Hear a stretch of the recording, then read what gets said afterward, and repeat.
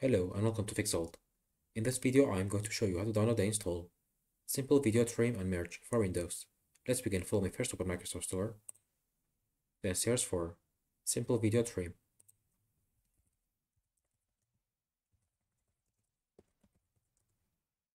As you can see this is Simple Video Trim and Merge.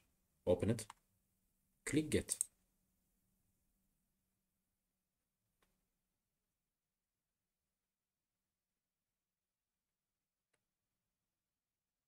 It's downloading.